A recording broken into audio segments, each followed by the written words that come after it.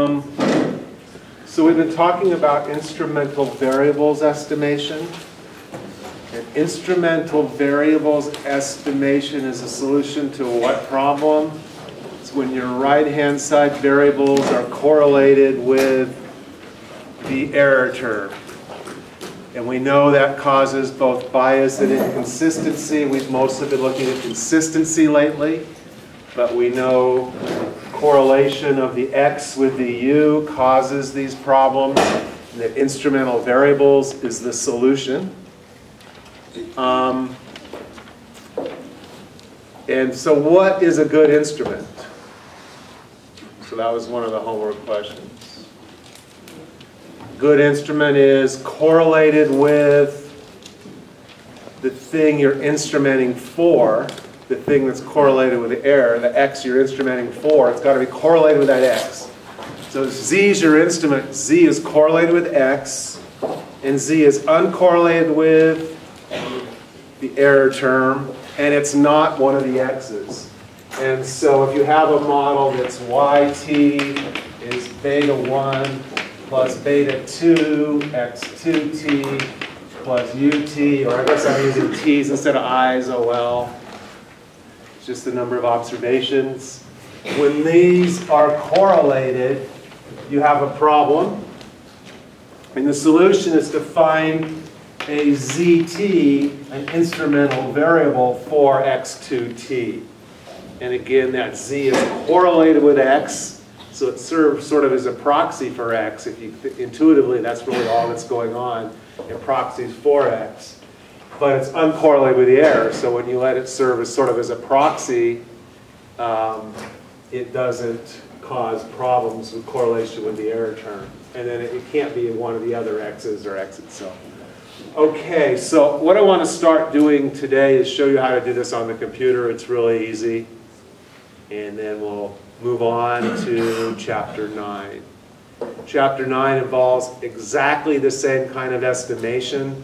So although in the first part of the course, the heteroscedasticity estimation and that sort of thing is rather involved, here it's rather easy and it's more conceptually difficult. You have to sort of conceptually figure out what to do. And once you know what to do, once you read the cookbook right, then you just do what it says to do. It's real simple to do on the computer. So we'll show you how to do instrumental variables estimation today, and then we'll continue with that for a while into chapter 9. Chapter 9 does simultaneous equations, and you, you get exactly the same problem, correlation of the x with the error. And so the same solution is going to be available to us for that reason. Okay, so let me pull up our friend EViews. Where the hell is it? heck is it?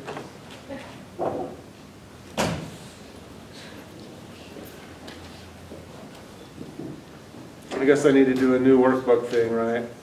A work file, whatever. This is an undated file. Goes from 1 to 540. This is the books data set that I'm using, so it's one with earnings and all sorts of things, also experience and um, other variables, schooling. In fact, let me show you the data set I'm going to use here. I need the, I need the variable names anyway. So it's this EA, EF that's described in the text. I need these variable names when I read it in, so I'm just going to grab them.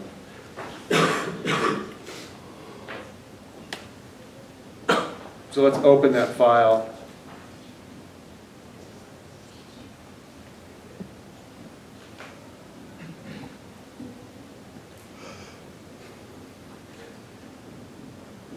There it is.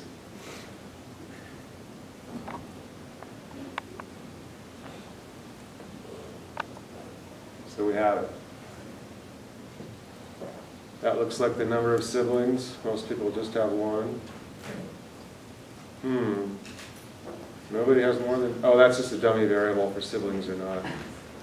This is whether your parent had a library card, things like this experience, work experience, this is your earnings, schooling of the father, schooling of the mother, and what is S? Your individual schooling, yeah, that's right. So we're going to run the regression. Um, log of earnings on a constant on schooling and experience.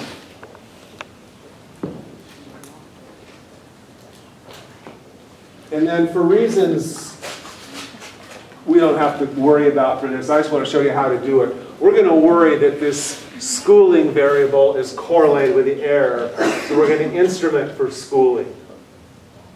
And we'll use a couple of different kinds of instruments.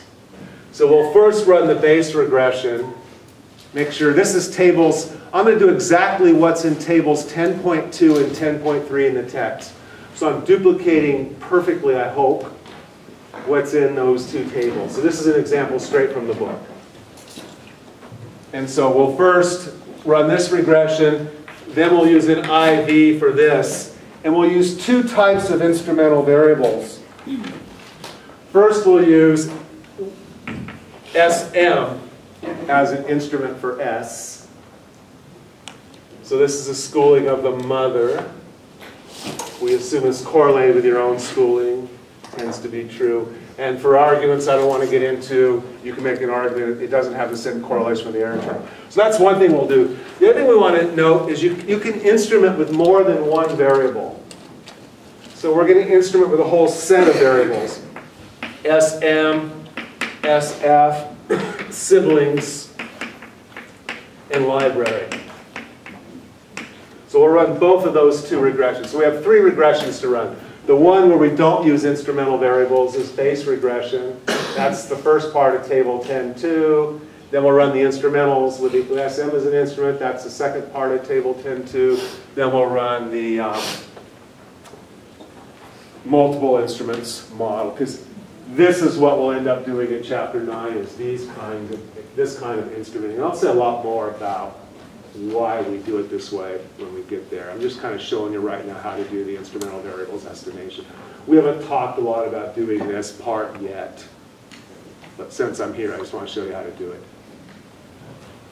Okay, um, let me pull one more thing up here.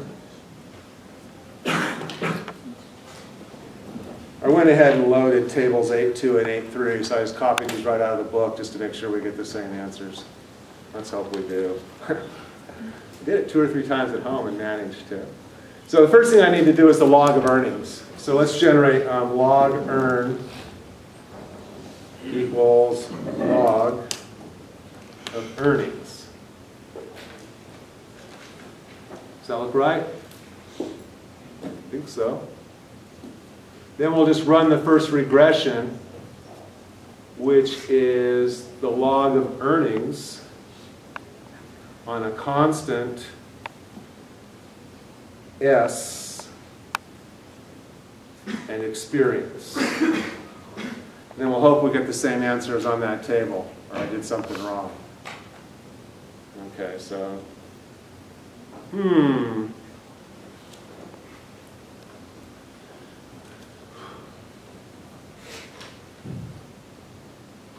I know what I did.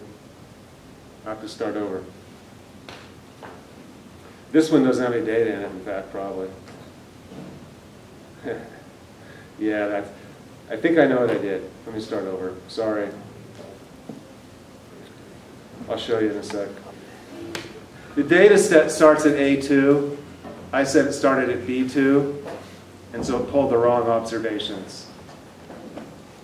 So, uh, something to watch out for. Sorry. This is your nightmare.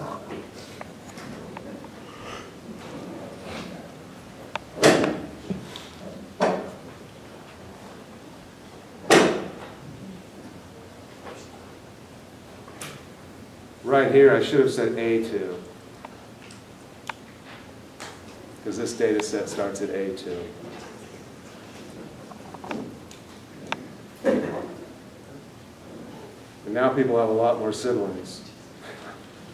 Now I'm wondering if anyone has 10. Is that right? Earnings. Well, let's try it. So let's generate log earn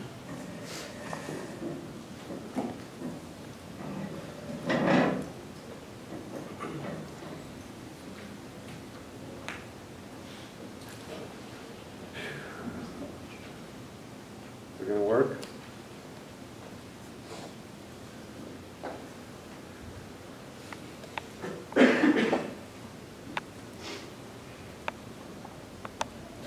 That looks better. Now the question is whether I got the same numbers. Those don't look right.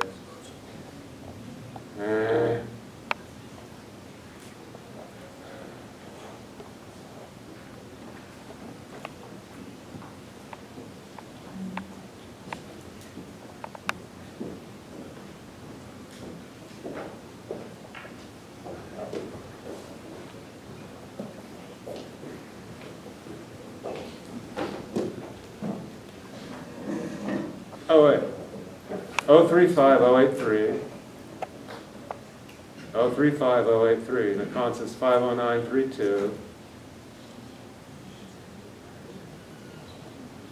Five oh nine, three two. Okay, it's the same. Okay, so it's identical to what's in the table. I just couldn't read the table right. Had a moment of panic there. Okay? All right, good. Okay, now let's run the instrumental variables regression. So you just do the same thing. You say quick, estimate, and you put the same model in as before. Log, earn, C, S, experience. Then choose two-stage least squares. It doesn't actually say instrumental variables. Two-stage least squares is actually a special case of instrumental variables. We haven't quite. So choose that. See here where it says instrument list? You need to put everything, so it'll be the constant. then I put the thing I'm instrumenting for. Instead of S, I put SM. And then you put EX experience just like before. You're essentially telling it what the exogenous variables are, but we'll get to that. See that? So you just replace this with this. Next time I'll replace this with this whole set. Next time it'll just be C, that whole set of four things, and then experience.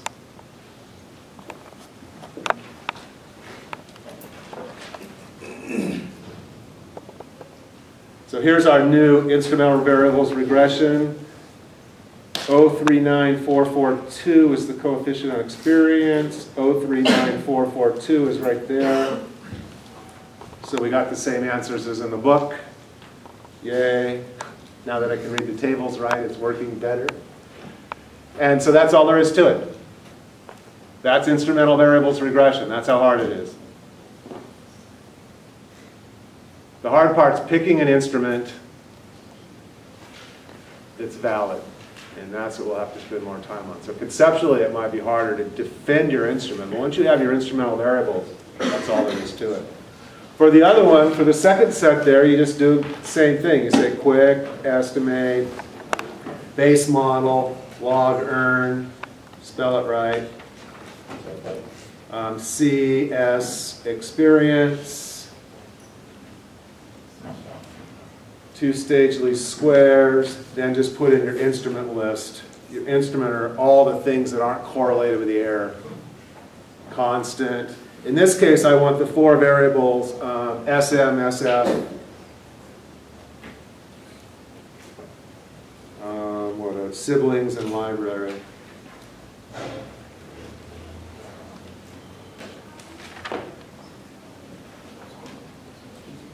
And then put in the experience variable. It's best to use different, it's best to spell things right. Works a lot better.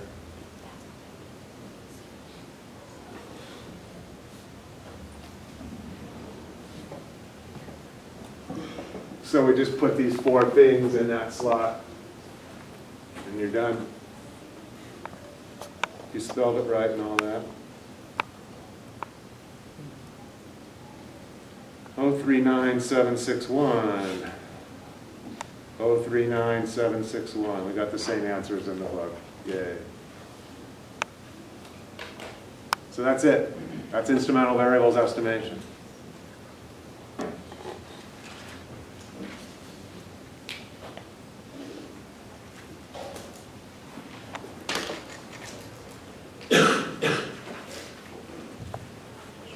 So in this model, instead of saying beta hat 2 OLS was the sum of the xi minus x bar, yi minus y bar.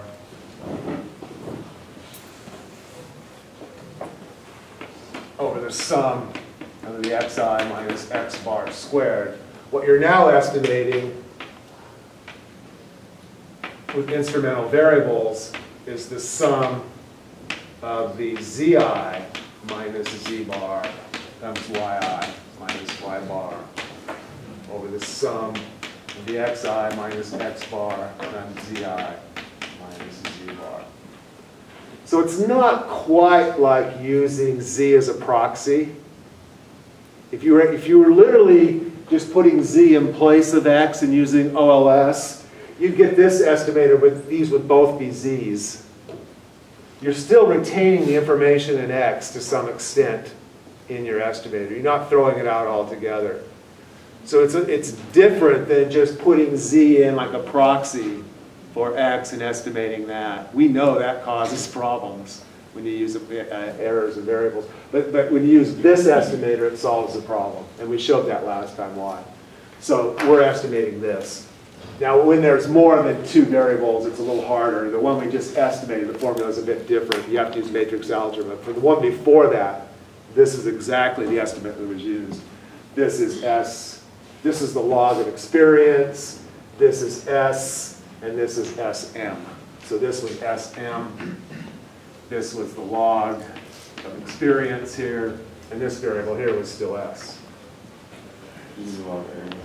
Hmm. A log of earnings. Uh, oh, yeah, yeah, thanks.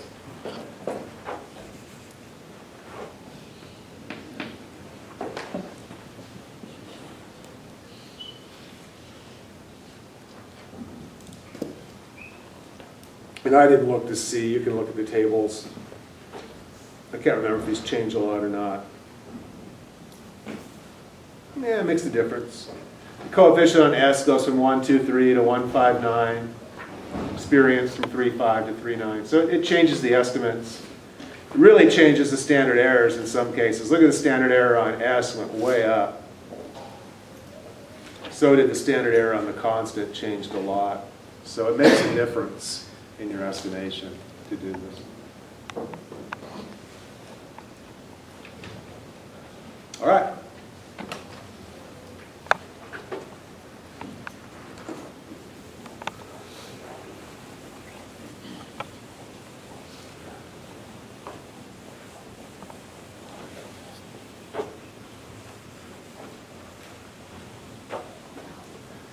So chapter nine is next.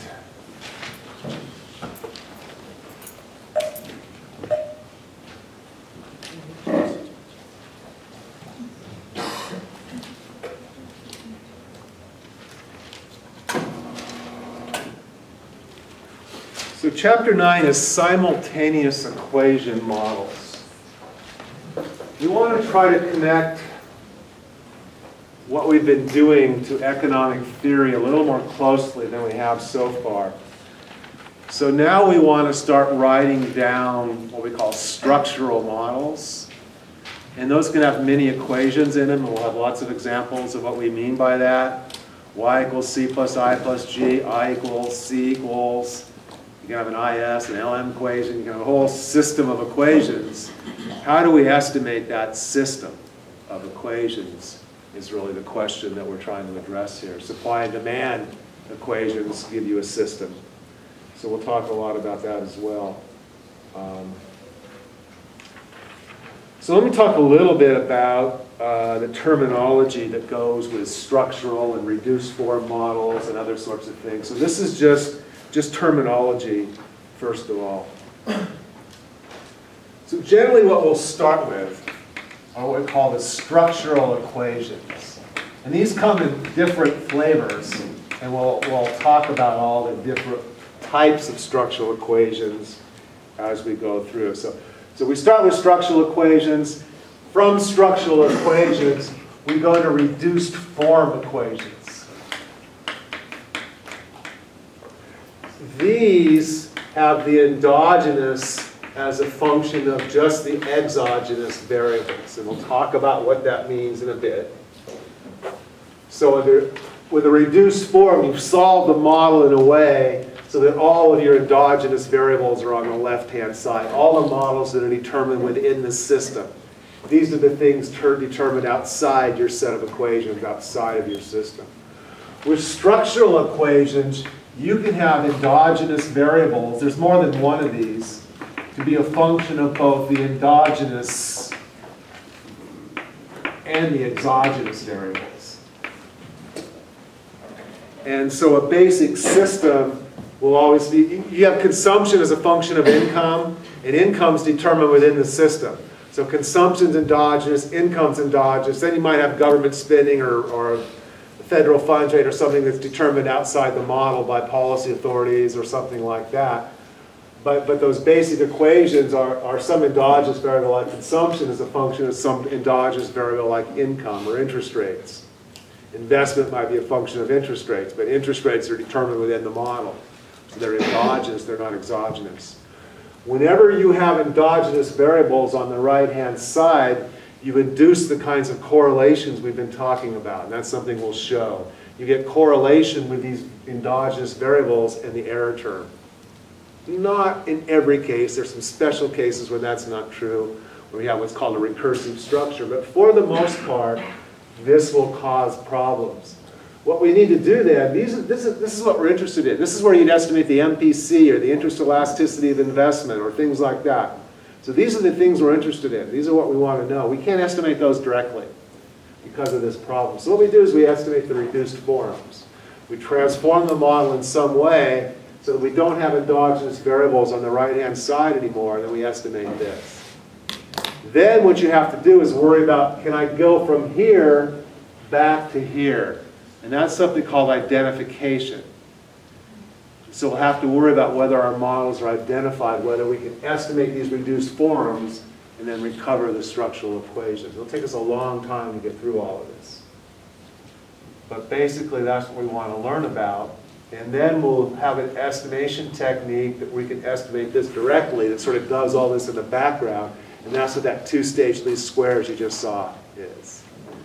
So there's a first stage and a second stage. It sort of takes away, you replace these endogenous variables with their estimates, and the estimates don't have the problem.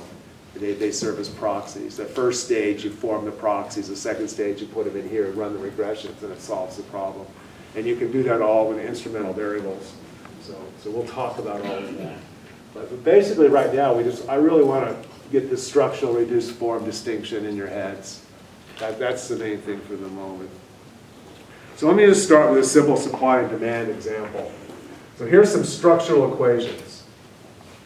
Um, quantity demanded is alpha naught plus alpha 1p plus alpha 2 times income. So this is just income for people who participate in this market plus u. So we're thinking this as just a standard old demand curve, so, you know, the demand for chalk or bicycles or whatever, just some demand. curve. Alpha 1 is probably negative, alpha 2 is probably positive, unless it's some weird good, you know, like income goes up, consumption goes down. There are goods like that. We won't worry about that. QS is beta 0 plus beta 1 P plus beta 2 times R plus V, so that's supply. So these are our behavioral equations. This is the behavior of consumers. So these are called structural, the other name we give them is behavioral equations. This is the behavior of consumers, this is the behavior of firms. And we derive these from utility maximization and profit maximization, so they, they directly relate to the underlying behavioral assumption. Now there's also this equation. So this is a three equation system, that's the equilibrium condition. You usually sub this in and work with two equations and call them both Q. Technically, you've got a three equation system here. So in this model here, we have two behavioral equations, supply and demand. And one equilibrium condition. So there's two types of structural equations already, behavioral equations and equilibrium conditions.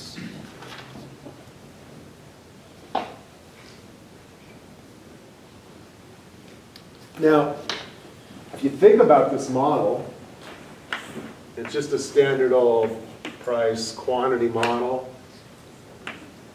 Got a demand curve, a supply curve. The demand curve depends upon income. The supply curve, I think R is rainfall. Whether it is or not, let's call it rainfall. We can call it whatever we want. So let's call it rainfall. I think that's what it is. Yeah, it's rainfall. So let's call it R rainfall. Some question about that? So what exactly is the supply of rain, rainfall? Some quantity, some good. It doesn't matter. You Think of wheat, rice. expecting rainfall, though. Was that? I wasn't expecting rainfall, so. Oh, well, wheat, rice, whatever.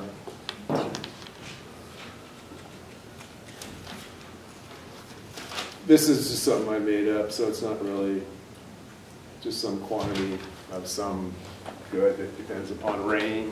It doesn't matter what it is.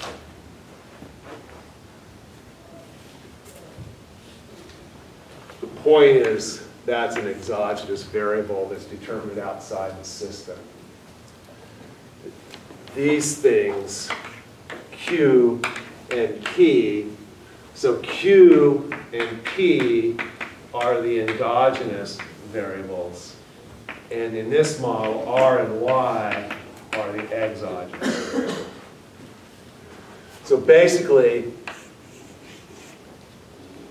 you give the model R and Y, this is supply and demand, and it spits out P and Q. So R and Y are like the data that come in. They tell you where these curves are. Those are the exogenous variables that are outside the system. And inside the system, given this data, you determine P and Q. So these are, these are the exogenous things. The endogenous stuff is done inside the box, inside the model. The box is the model, and then it spits out P and Q. And if I give it a different Y, or a different R, it spits out a different P and Q. So whatever data I give it, the model just spits out a new P and Q. Now, this model already, you can see this structure. Because this is endogenous, this is endogenous, this is endogenous, this is endogenous, and these are exogenous. So we have endogenous as a function of endogenous in both of these models. And that's going to be a problem. Now, let's just simplify this thing for, see, where am I here? I'm going to do this systematically. Um, okay, so let's just leave that one there. You can now, you can also reduce this system. You can just name this Q, name both of those Q. You can plug that in. QD equals QS equals Q to here. This is what you usually look at, is something like that. Now I just have two equations in my system, and they're both behavioral, because I subbed this one in. This is no longer part of it. So the number of equations is, can be different depending on what you've subbed in or what I haven't subbed in. I can plug that into there and get a one equation system too. But this is the basic supply and demand. This is the basic behavioral model we, we want to work with right here. So that's two equations, once we've subbed that in, two endogenous variables. And among my exogenous variables here, when I write down this system, there's also a constant. That's also exogenous. That's data that comes in. So the exogenous variable, there's really three exogenous variables. Y, R, and C. The endogenous are P and Q. So I didn't, I didn't note C over there. But that's another variable. It's not determined within the system. It's just a fixed variable at every point in time.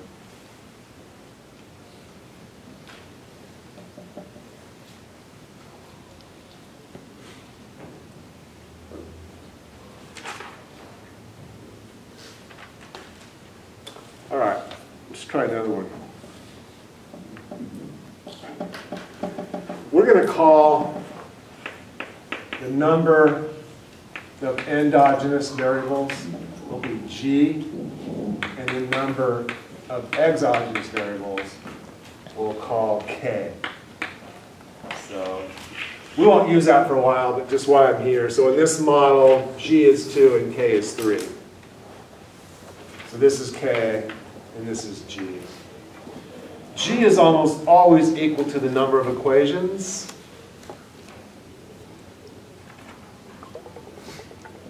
Occasionally it's not, but for the most part it is. Let me write down another model, take a look at that.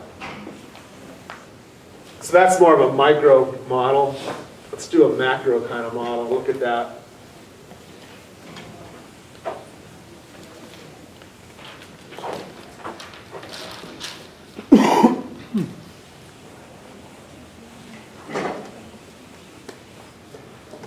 We haven't found the reduced forms yet. We'll get there. Here's a CT is alpha naught plus alpha 1 dyt. That's disposable income. So consumption is a function of disposable income. We have habit persistence. So your income yesterday matters too. If you were rich yesterday and poor today, your consumption's still higher than it would have been. So your consumption yesterday matters, or your income yesterday, plus UT. So this is consumption. Let's have investment equal B0 plus B1 YT, not disposable income, but just income, plus B2. Some investment takes a while to put in place, so income yesterday helps determine investment today. So this is your investment equation.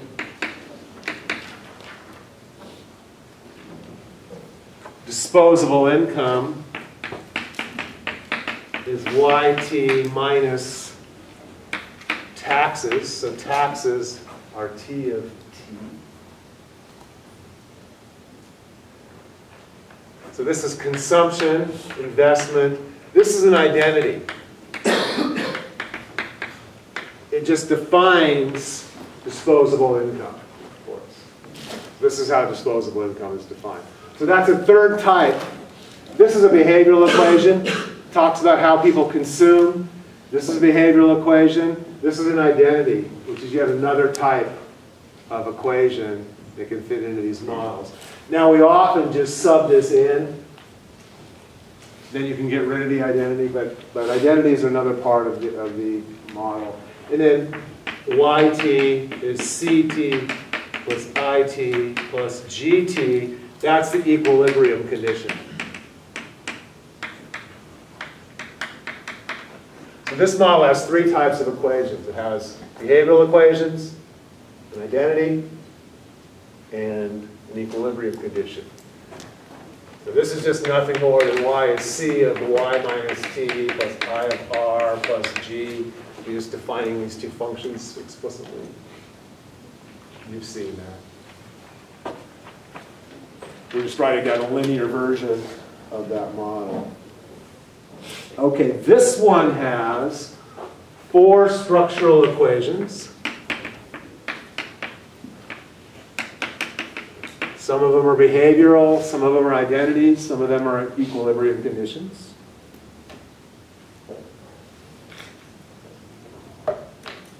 Just so you have it somewhere in your notes, let me write down.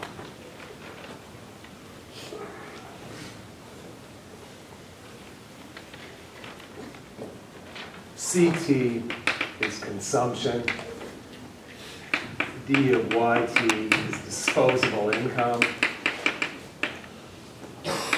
IT is investment.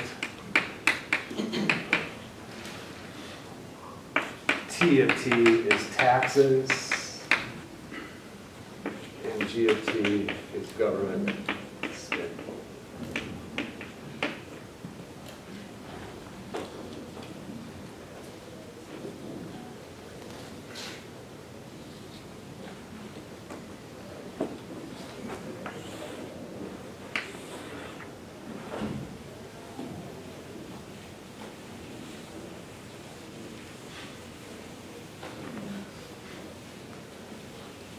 looking the wrong way on the board, right to left, is what you're supposed to do. Um, so how many endogenous variables in this model? I have to tell you, because it's not always clear what's endogenous and what's exogenous. It's not always the case that you can look at a model and make that determination. In this case, you could probably think about it, well, taxes are set by the government, government spending set by the government, those are probably exogenous variables. But basically, someone usually has to tell you what's exogenous and what's endogenous. So this has four structural equations, as we said. And it has four endogenous variables. Again, the endogenous variables are almost always equal to the number of equations. It's certainly equal to the number of unique equations. If they're not the same, you've got either a system that isn't identified or a redundancy. But, so that's generally going to be the same.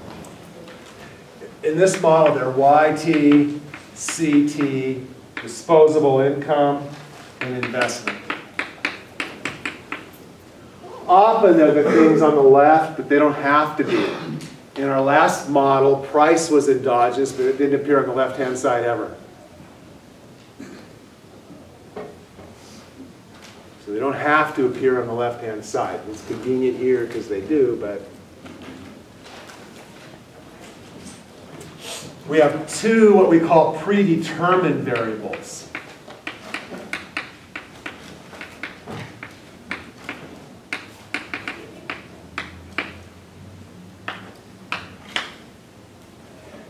Those are dyt minus 1 and yt minus 1.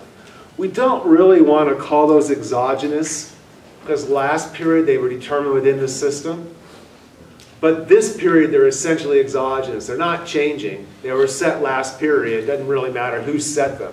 So they're predetermined. They're not set this period. They're not part of a box. They're data that comes in. So these are part of the data that comes into the box that determines these four variables. So in this model, these are the things that come out of it. Two of the things that come into it are the data from the last period. And this is the model, and the model spits out the endogenous variables. We also have three exogenous variables. The constant, government spending, and um, taxes. So the other things that come in here are C, GT, and um, taxes. So given this data, C's, you you already, you know that. It's part of the data. It comes in, the model does its thing, and it spits these out. And you've, you've done this diagrammatically at least, through ISLM and 45 degree line diagrams and all that sort of thing. Then you look at how output changes when government spending changes or taxes change. You can work out the multipliers with this and all that sort of stuff.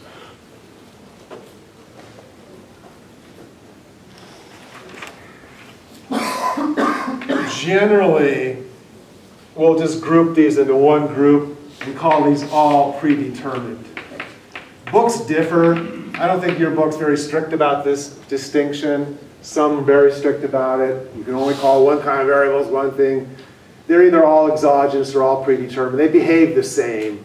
So I'm not going to be too particular about the names I use. I'll try to use predetermined for the lagged endogenous and exogenous for this, but sometimes I'll end up calling these exogenous, and sometimes I'll end up calling these predetermined, because it all really means the same thing.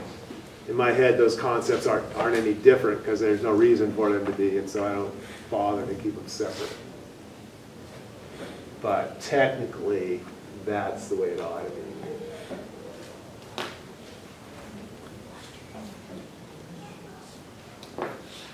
Now, there's one more type of equation that I didn't do here that I need to talk about.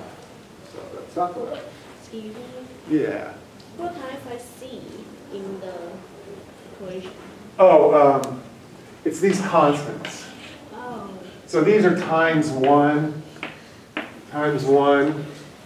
C is just the vector of ones. it's just that um, column ones that would be in your spreadsheet if the program didn't do it automatically.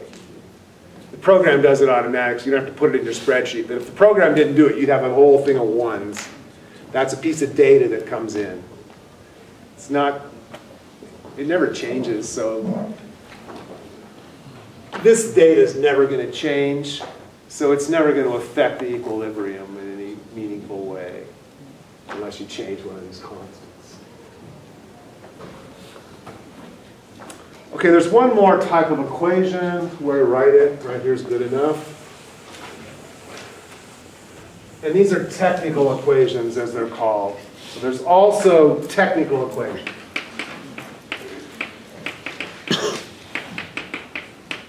And the best example is a production function.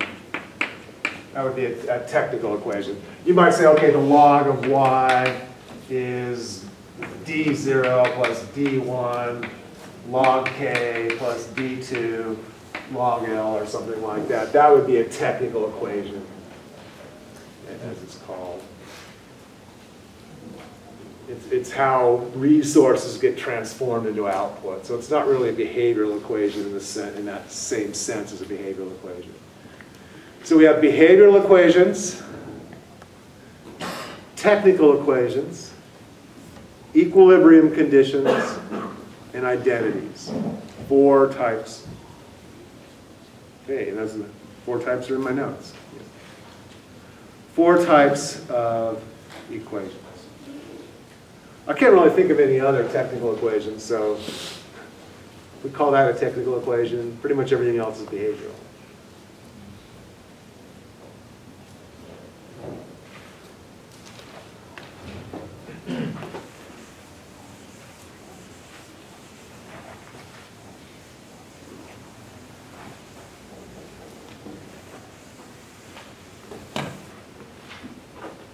Now let's talk about reduced form equations.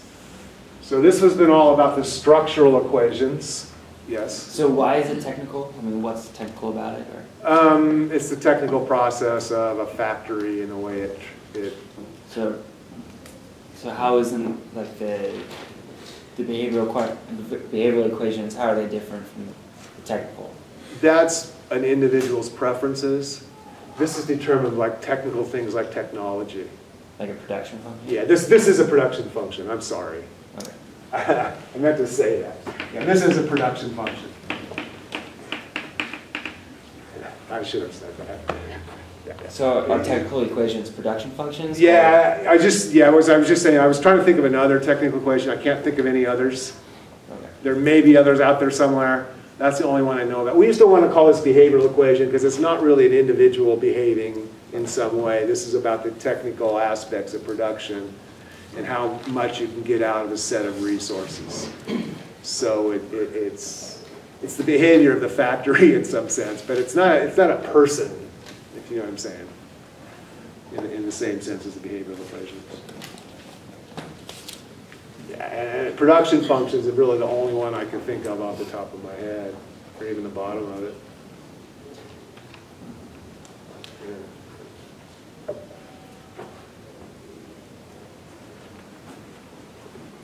Yeah. I wanted to move this, my head said, oh, control A, control C, control V. Doesn't work that way in the chalkboard. So yeah, production. Okay, uh, reduced form equations. What are those?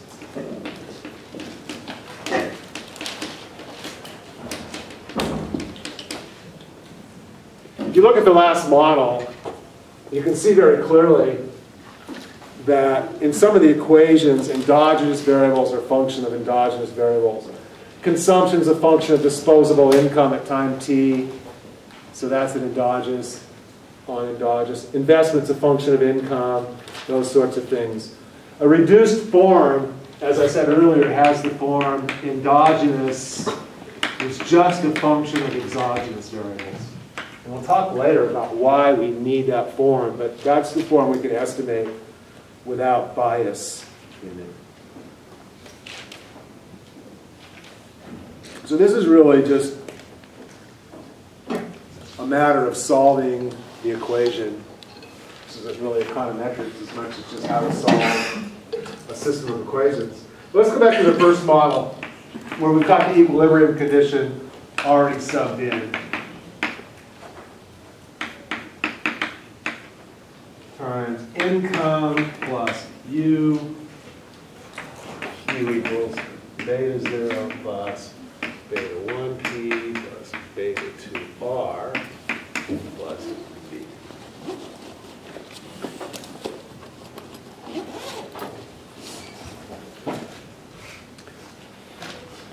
You do the obvious thing. Alpha zero plus alpha one P plus alpha two Y plus U equals beta zero plus beta one P plus beta two R plus V.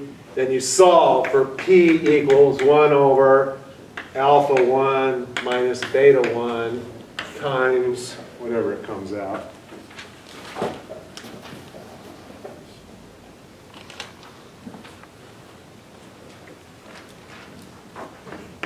Beta zero minus alpha zero minus alpha two Y plus beta two R plus V minus U. In a second, I'm gonna write this out because we're gonna, it'll just be more convenient to have it in this form in a second.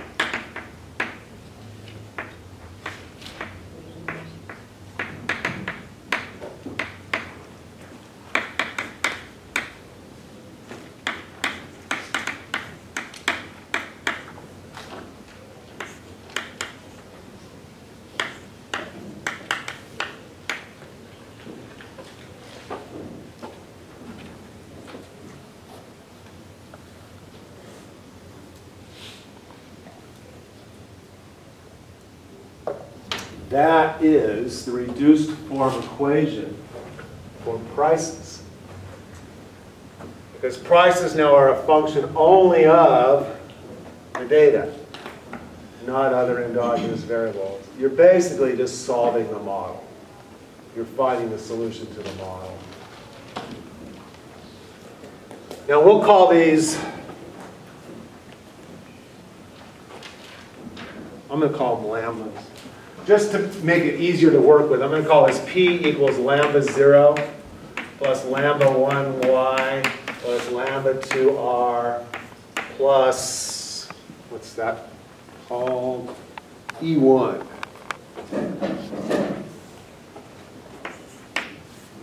Where lambda 0 is that, lambda 1 is that, lambda 2 is that, and E is that.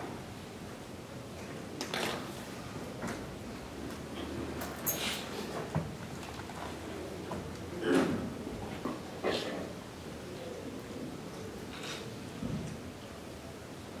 is the farthest I've ever been in the class. It's weird being in the corner over here. Hard to see.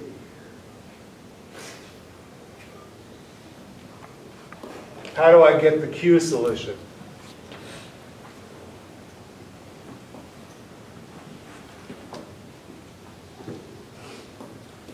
All we've done is x plus y equals 3, x minus y equals 4. We solved one of these for x.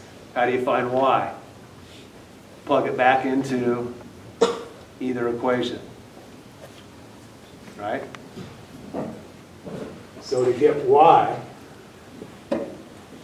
uh, y, p, to get p,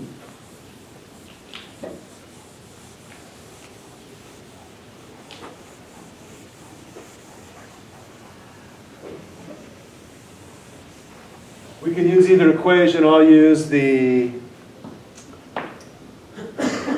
what's the one with the alphas, is that demand? Yeah. Yeah, I'll use the demand equation. So Q equals alpha naught plus alpha 1. All you do is sub in the solution here. This is why I use the lambdas. I don't have to rewrite the whole thing every time. Lambda 0 plus lambda 1y plus lambda 2 r plus E1 plus alpha 2y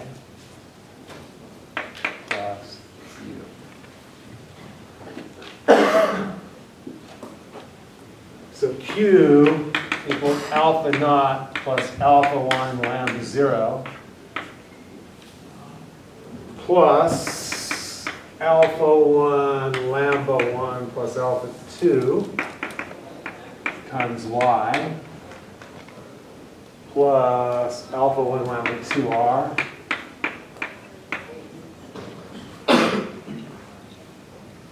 plus u plus alpha 1 e1.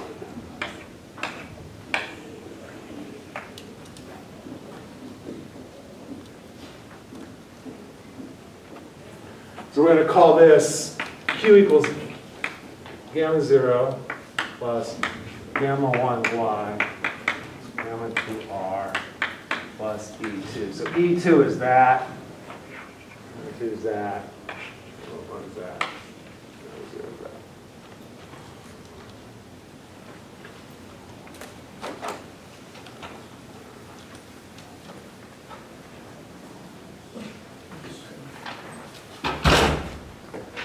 So the solution is Q equals gamma 0 plus gamma 1 y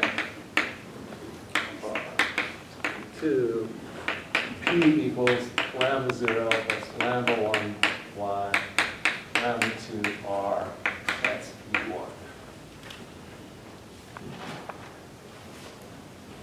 Where lambda zero is beta zero minus alpha zero over alpha one minus beta one. Lambda one is minus alpha two, minus beta one. 1, 2, beta 2 over alpha 1 minus beta 1, and E1 is V minus U over alpha 1 minus beta 1. That's just those. I just rewrote them again for you. And gamma 0 is going to be um, alpha 0 plus alpha 1 times that, beta 0 minus alpha 0 over alpha 1 minus beta 1.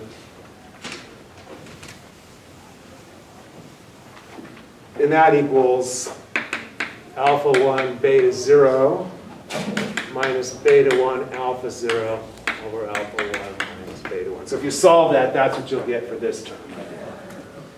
That's the solution.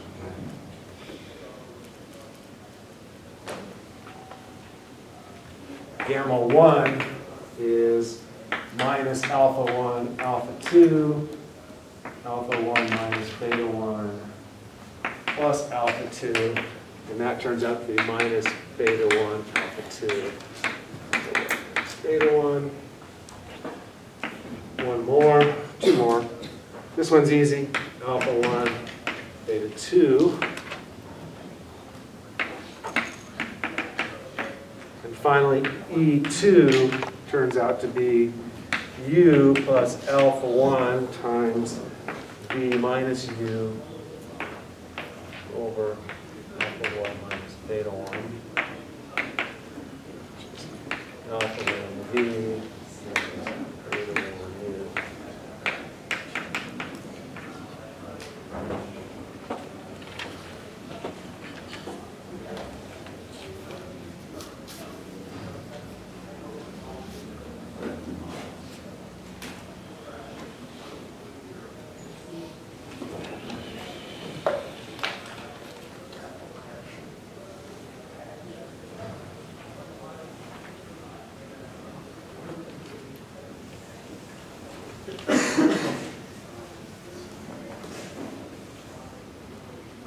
Trouble reading any of them?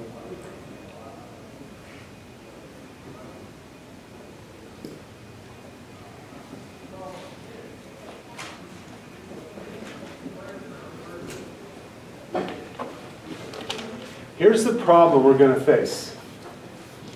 We want to know things like what's the interest elasticity of demand. If this model's in logs, that's the coefficient on the price term in the demand equation. Or it's some function that it. So we, when we estimate the model, this model is just endogenous, a function of exogenous. We'll be able to estimate this just fine. We'll regress P on Y and R, Q on Y and R. And we'll get these six estimates.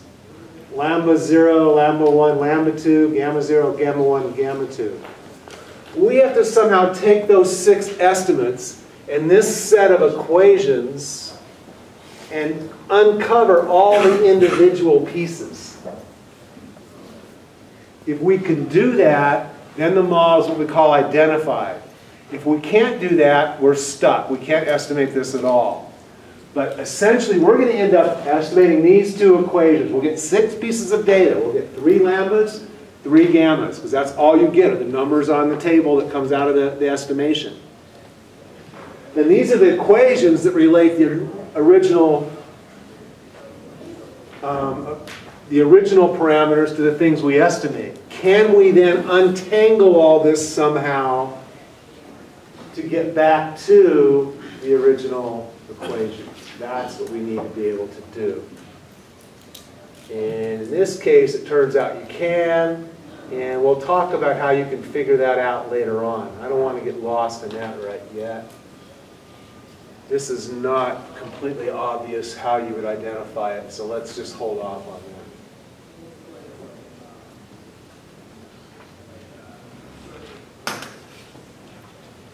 For now, we're just trying to get you to understand the distinction between structural equations and reduced form equations.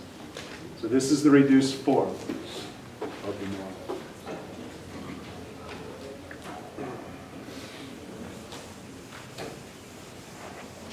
Now let me do one that's on your next homework, which you've either gotten yesterday or will get tonight. So this is like the one on your homework. Let's go back to the other model. Yt is ct plus it plus gt. Um, I actually didn't write it down. CT is alpha naught plus alpha 1 dyt plus alpha 2 dy t minus 1 plus ut. it is beta 0 plus beta 1 yt plus beta 2 y2 minus 1 plus dt consumption and investment, equilibrium's on top. Here's the definition of disposable income. Income minus taxes. We already have our, our equilibrium condition. So we want to solve this one.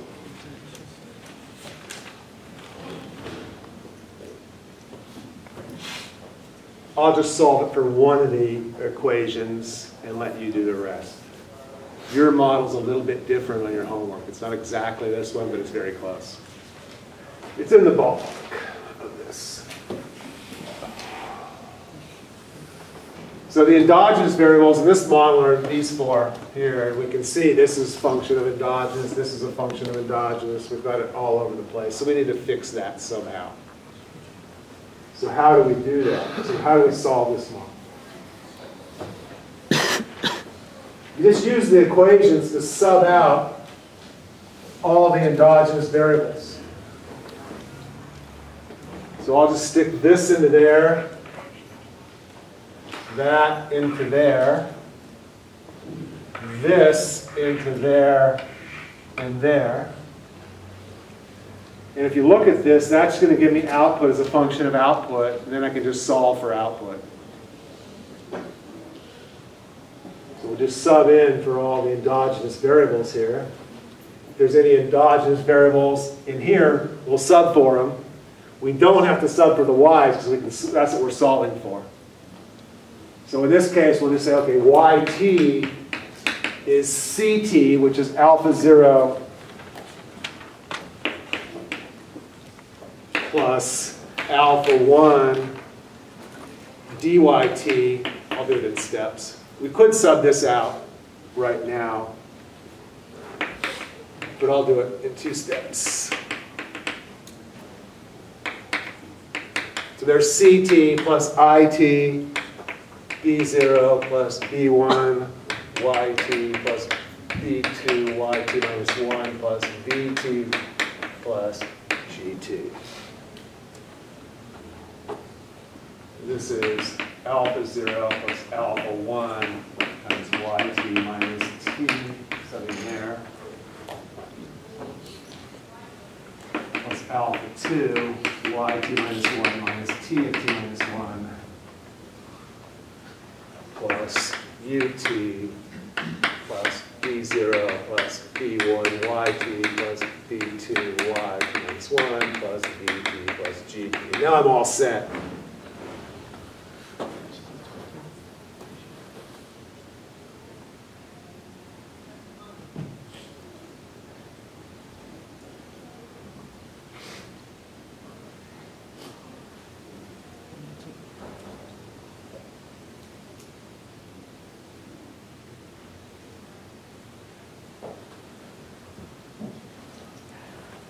So now I've gotten rid of all the endogenous variables on the right-hand side. I simply used the other equations. I want to isolate yt. If it has a c anywhere this side, plug in for it. If it has a dy, plug in for it. There's an i, plug in for it. So just eliminate, use the other three equations to eliminate all the endogenous variables except yt, which I'm solving for. So I'm all set to do that. On this side now, there's everything's either exogenous or yt. So now yt times essentially the numerator of the multiplier. 1 minus alpha, is it beta 1? Yeah, beta 1. Is alpha 0 plus beta 0 minus alpha 1 t minus alpha 2 t minus 1 plus alpha 2 plus beta 2 y t minus 1 plus gt plus vt plus ut. So then yt equals alpha 0 times beta 0 over 1 minus alpha 1 minus beta 1 minus alpha 1 over 1 minus alpha 1 minus beta 1 t minus alpha 2.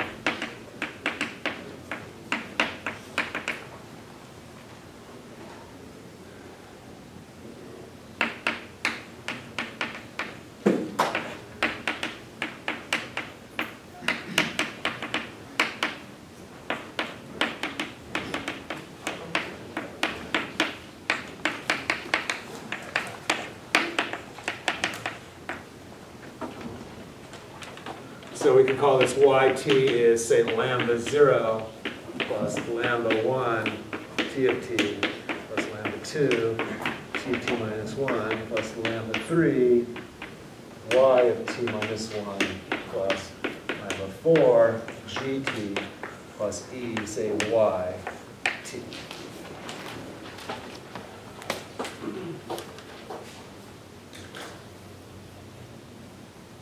So this, this shorthand, that's equal to that. We'll just use some definitions.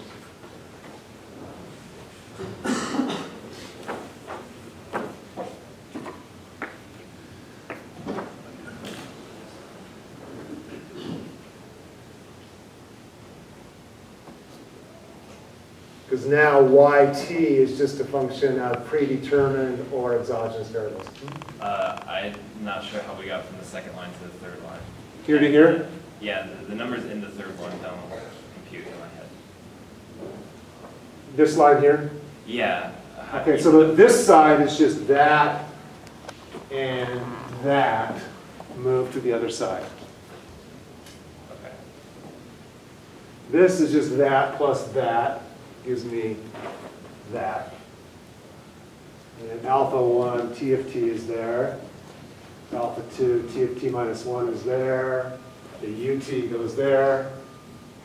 So why did we over like alpha one and- and not alpha two? Because this is predetermined, it's exogenous. So that can be on the right-hand side. So I'm trying to solve for the endogenous variables purely as a function of the exogenous. So what I do is I just, okay, this is endogenous, this is endogenous, this is exogenous. Damn, I'm not done yet. Okay, well, I've got an equation. Sub in for the endogenous variables. Okay, okay so far, but oh, I've still got an endogenous variable there. Sub in for it. Now I've got all the c, i, and dy's gone at this point, but I've still got my y's on the right-hand side. But that's what I'm solving for. So I just move all the y's to this side. So this is just yt minus alpha 1 yt minus alpha 2 beta 1 yt equals that stuff, which is all the exogenous. Taxes are exogenous, taxes yesterday are exogenous, this is predetermined, this is exogenous, so now we've got it in the right form. And now it's just a matter of just dividing through by this. I took way too many steps, I didn't need to take all these steps, but I wanted to make sure it was all in your notes. And then, then do, then I just define those and do that. Then to get the other endogenous variables, I'm not going to do it. What you would do is take this equation and say sub it in for here. That's going to give you IT as a function, because everything on the right hand is exogenous. Once I sub this out, have IT as a function just of exogenous stuff. So I just plug that equation into here. For, for consumption, I just call this yt minus t of t, sub that equation in for this endogenous variable, and solve for consumption, and I'm done. If this had two endogenous variables, say it had c and i on it, I'd solve this one first, sub in for c, sub in for i, and I'd be, so you just sub out the endogenous stuff to get the solution. We're just taking a model where you know, x plus y plus z equals 4, x minus 2y plus 3, z equals 8, x plus y minus z equals 4. We just take this equation and plug in for z. That's kind of what we're doing here.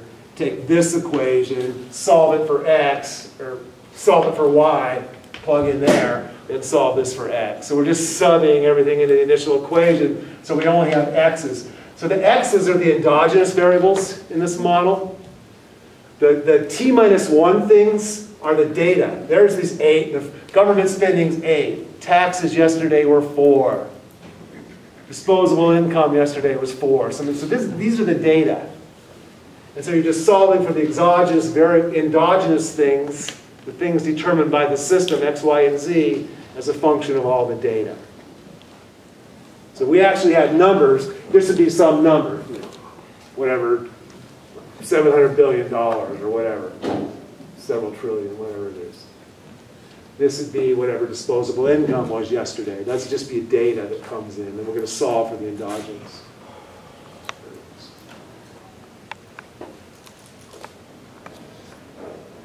dy is easy. You can see what the equation for dy is going to be. Just plug this in, and it'll just change this coefficient to lambda 1 minus 1.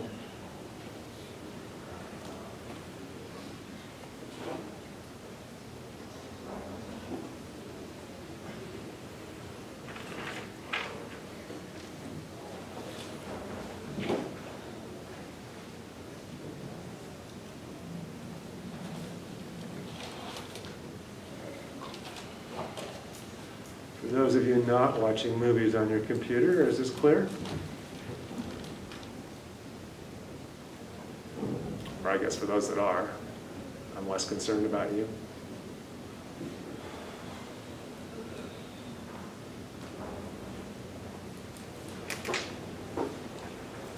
Okay.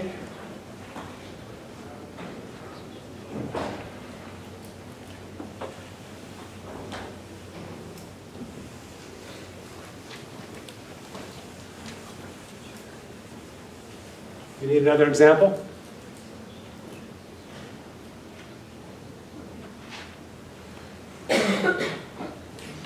We can write out a money demand equation, a money supply equation, make interest rate endogenous, make M endogenous, then solve the resulting equilibrium.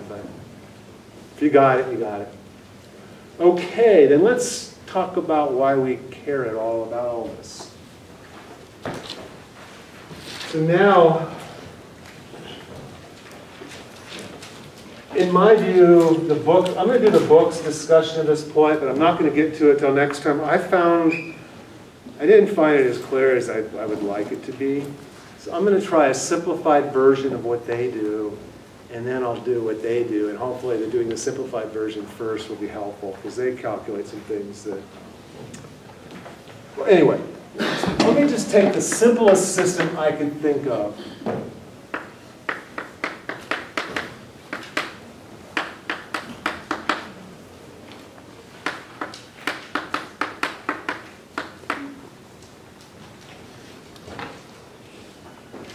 This model doesn't have any exogenous variables, except the errors are kind of exogenous here, but it doesn't have anything exogenous. It's purely endogenous variables.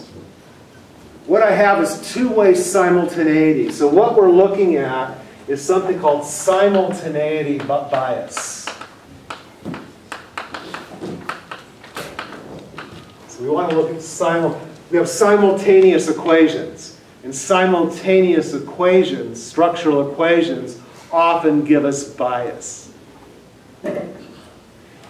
So I want to imagine that you're going to regress y on x. We know what this estimator looks like. It's the sum of the xi minus x bar, y minus y bar, sum of the xi minus x bar squared. But, okay, y has u in it, right? Clearly y has u in it. You see that? x has y in it. So x is, u is an x. If u is an x, those are correlated. That's the problem. That's what we want to show mathematically. x has u in it, so this and this are correlated, so any estimate of alpha here will be biased. I could add, the book's example has exogenous variables added to this, which really complicate the, the, the discussion, but you get the same result. So I just want to imagine running this regression and show that when you have this two-way simultaneity, if, if beta is zero, if I don't have x depending on y, I don't have a problem at all. x is just exogenous, it's random, it's vt, but it's just a random variable. In that case, I don't have simultaneity. I don't have a problem because x no longer has u in it. The reason x has u in it is because y is in there. So when beta is zero, I can run this regression fine. X is exogenous, essentially. It's determined outside the system. The minute I make B non-zero, X is determined simultaneously. It's part, it's no longer data, it's, it's endogenous. So there it's exogenous. I don't need the system to figure out what it's going to be. Here it's endogenous because it depends on Y. It's, it's a simultaneous equation problem. Okay, well we know that if we estimate that alpha hat, that the p-lim of alpha hat is alpha plus the covariance of x and u over the variance of x. We've done that enough times. I'm not going to go through all the steps to get there. We know that, that that's going to be the case.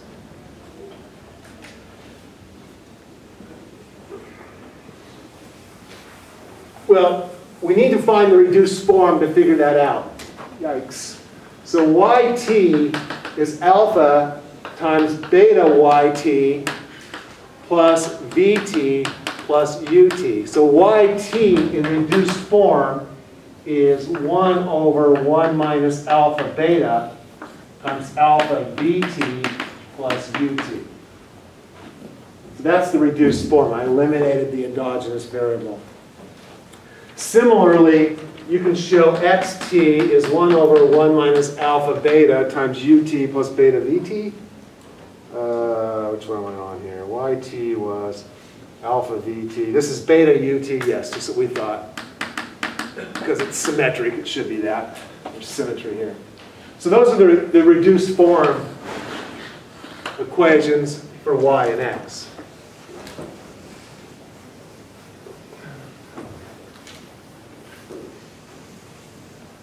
So the variance of x is, remember that the variance of ax is a squared times the variance of x.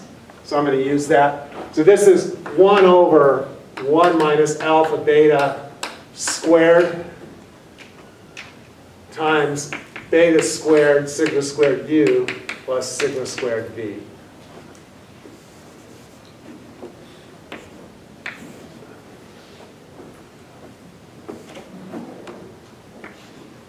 That's just the variance of this. These are independent.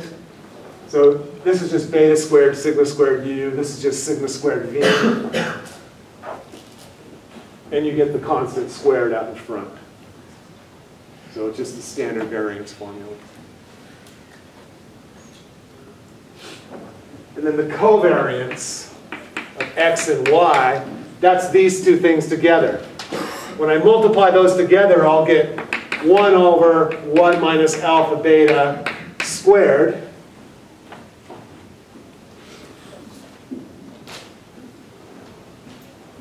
Times, I'm out of time, damn it.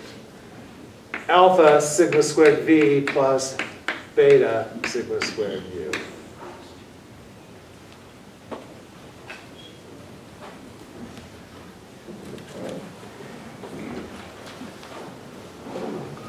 So we'll come back to this.